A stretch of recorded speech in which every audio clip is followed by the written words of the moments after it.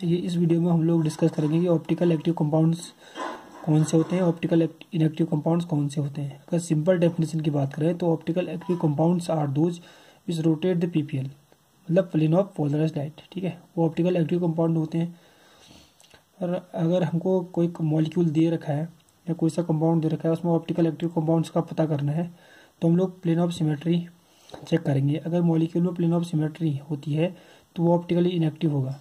ठीक है। ऑलमोस्ट सभी मॉलिक्यूल्स प्लेन ऑफ़ सिमेट्री वाले जो मेथड है, इसमें कवर्ड हो जाते हैं, ठीक है। मतलब कि जिसमें प्लेन ऑफ़ सिमेट्री होती है most of the molecules are optically inactive ठीक है। तो ये मॉलिक्यूल्स है जो कुछ क्वेश्चन लिखे हुए हैं, इनमें देखते हैं कि कौन से ऑप्टिकली एक्टिव है, कौन से ऑप्टिकली इनएक्टिव है। सिंपल है प्लेन ऑफ़ ये प्लेन ऑफ़ सिमेट्री हम लोग चेक करेंगे, ठीक है। तो फ़र्स्ट मॉलिक्यूल जो दिया है हमारे पास हमने, इसको अगर हम लोग ड्रॉ करें तो हम लोग इसको, इसको ऐसे ड्रॉ कर सकते हैं। ऐसे।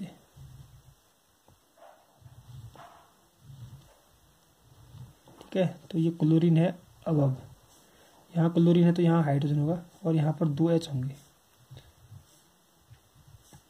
ठीक है इसको भी ड्रॉ कर सकते हैं ऐसे। ऊपर सी एल है नीचे भी सी एल है। और यहाँ पर हाइड्रोजन होंगे।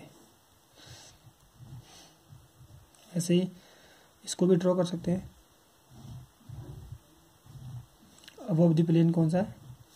सी नीचे क्या होगा? हाइड्रोजन और इसमें सी नीचे है तो हाइड्रोजन ऊपर होगा, ठीक है? और यहाँ पर दो हाइड्रोजन होंगे। और इसकी अगर हम बात करें तो ऊपर सी है, नीचे आर और यहाँ पर सभी के हाइड्रोजन होंगे। ठीक है तो देखो, अगर इसमें प्लेन ऑफ़ सिमेट्री देखते हैं, अब यहाँ से अगर हम प्लेन पास कराएँ तो ये मॉलिक्यूल्स को दो इक्वल भागों में काट रहा है, ठीक है? तो इसमें प्लेन ऑफ़ सिमेट्री है तो ये क्या होगा? ऑप्टिकली इनएक्टिव और यहाँ पर से भी तो ये भी क्या कर रहा है? मॉलिक्यूल को दो इक्वल पार्ट्स में कट कर रहा है तो ऑप्टिकली इनएक्टिव ठीक है? इसमें यहाँ से देखो तो नहीं है, यहाँ से देखो तो नहीं है तो यहाँ से भी नहीं है। तो इसमें प्लेन ऑफ़ सिमेट्री नहीं है। No plane symmetry no plane of hence optically active optically active ठीक है? तो इसमें भी अगर देखें तो यहाँ से बाइसेक्ट करेंगे इसका अगर मॉलिक्यूल को तो ये भी इसमें भी प्लेन है तो ऑप्टिकली इनएक्टिव इनएक्टिव ठीक है? ऐसे दो, तीन मॉलिक्यूल और हमारे पास हैं। तो इसमें भी अगर हम ड्रॉ करें तो इस टाइप से कुछ। तो ये सी एल ऊपर है, यहाँ पर बी आर नीचे है, ठीक है? तो और हाइड्रोजन होंगे।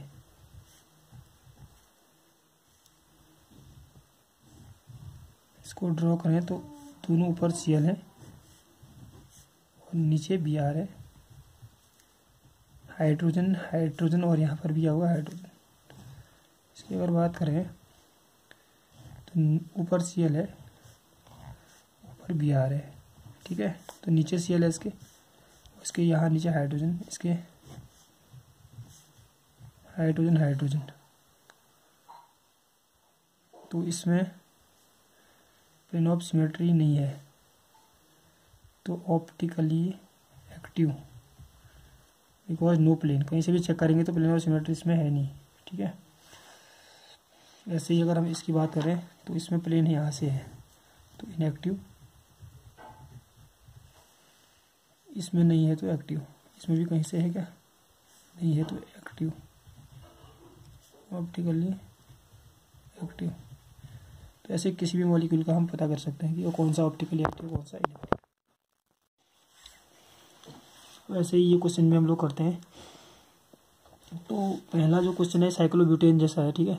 तो इसका अगर हम ड्रॉ करें तो इस टाइप से हम कुछ ड्रॉ कर सकते हैं इसका।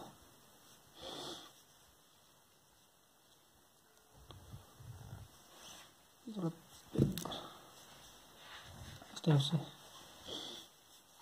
तो थोड़ा सा अगर इसकी हमें सिमेट्री दिखानी है, थोड़ा क्रॉस करना पड़ेगा। वैसे भी इसके अंदर प्लेन है, ठीक है? तो प्लेन और सिमेट्री है तो क्या होगा? ऑप्टिकली ऑप्टिकली इनएक्टिव सॉरी ठीक है? अगर इसको ड्रॉ करें तो हम लोग इस टाइप से इसको ड्रॉ कर सकते हैं। इसके सीएल अबव है। ठीक है? तो दूसरे में जो क्लोरीन है वो नीचे है तो नीचे रख दिया। और सभी के सभी जो भी हाइड्रोजन होंगे, ये ऐसे हैं।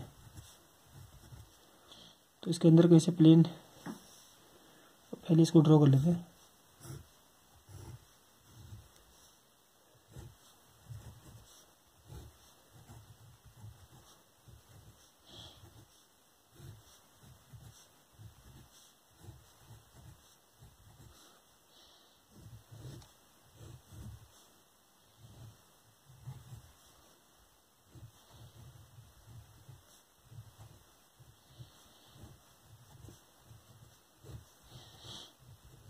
अब इनको चेक करते हैं कि इनमें प्लेन ऑफ़ सिमेट्री चेक करते हैं पहले। इसमें plane of symmetry optically inactive है, ठीक है? अगर हम इसकी बात करें तो इसमें कहीं से प्लेन ऑफ़ सिमेट्री देखते हैं, कहीं से। होती है क्या? यहाँ से कट करें तो प्लेन नहीं है, यहाँ से भी नहीं है, यहाँ से भी नहीं है। तो इसमें हम इस मॉलिक्यूल को कहीं से भी दो इक्वल पार्ट्स में कट नहीं कर सकते हैं, ठीक है? तो इसमें प्लेन ऑफ़ सिमेट्री अपसेंट है तो ऑप्टिकली एक्टिव ऑप्टिकली एक्टिव अगर इसकी बात करें, इसकी बात करें तो इसमें भी कहीं से यहाँ से भी नहीं है। तो ये मॉलिक्यूल में भी प्लेन ऑफ़ सिमेट्री नहीं लग रही है। तो ये भी क्या होगा ऑप्टिकली एक्टिव ठीक है? अब इसको अगर देखते हैं, इस कंपाउंड को तो इसमें प्लेन ऑफ़ सिमेट्री चेक करते हैं। यहाँ से भी नहीं है, यहाँ से भी नहीं है। तो इसमें भी प्लेन ऑफ़ सिमेट्री अपसेंट है। तो प्लेन ऑफ़ सिमेट्री अपसेंट है तो ऑप्टिकली एक्टिव ठीक है? अब कुछ ऐसे क्वेश्चन को कर लेते हैं। इसकी बात करें तो इसको भी हम ऐसे ड्रॉ कर सकते हैं कुछ। साइक्लोब्यूटेन सी ओ एच ऊपर साइड है। इसके सी सिक्स एस वाई भी ऊपर है। मतलब ऑफ़ द प्लेन ठीक है इसमें हमने जो लगाना है सी ओ एस नीचे लगाना है बिलो दी प्लेन इसमें सी सिक्स एस फाइव भी बिलो अब यहाँ पर हाइड्रोजन यहाँ पर हाइड्रोजन तो इसके अंदर अगर चेक करें प्लेन सिमेट्री तो यहाँ से भी नहीं है। ना यहाँ से है, ना यहाँ से है, ना है। तो प्लेन सिमेट्री है नहीं तो ऑप्टिकली एक्टिव मतलब कि कायरल मोलिक्यूल होगा ये? और जो ऑप्टिकली एक्टिव होता है, वो क्या होता है? कायरल ठीक है? ऑप्टिकली एक्टिव ये वाला, ठीक है? इसको अगर ड्रॉ करें तो इसको ड्रॉ कुछ इस टाइप से हम कर सकते हैं। साइक्लोपेंटेन है। ऐसे ऐसे।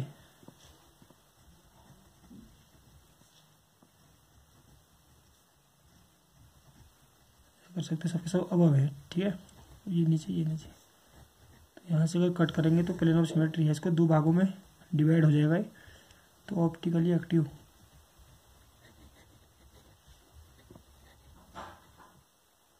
sorry optically inactive ठीक है? इसकी अगर बात करें, इसको ऐसे ड्रॉ कर सकते हैं। सी ओ एच ऊपर है और सी एस थ्री दूसरे कार्बन पर नीचे है, ठीक है? सी एस थ्री ऊपर है। और जो भी बचेंगे हाइड्रोजन से यहाँ पर, ठीक है? तो इसमें क्या है? कोई प्लेन ऑफ़ यहाँ से करेंगे तो दो भाग इक्वल नहीं बनेंगे। यहाँ से भी नहीं, यहाँ से भी नहीं। तो ये इसमें प्लेन ऑफ़ सिमेट्री है नहीं तो क्या होगा? ऑप्टिकली ऑप्टिकली एक्टिव ठीक है? तो ऐसे ही हम मॉलिक्यूल में symmetry plane of symmetry check करके किसी भी मॉलिक्यूल के बारे में पता कर सकते हैं कौन सा मॉलिक्यूल ऑप्टिकली एक्टिव है, कौन सा इनएक्टिव है। अगर प्लेन ऑफ़ सिमेट्री होती है तो एक्टिव होता है अदरवाइज़ इनएक्टिव होता है। सॉरी अगर प्लेन ऑफ़ सिमेट्री होती है तो ऑप्टिकली इनएक्टिव होता है।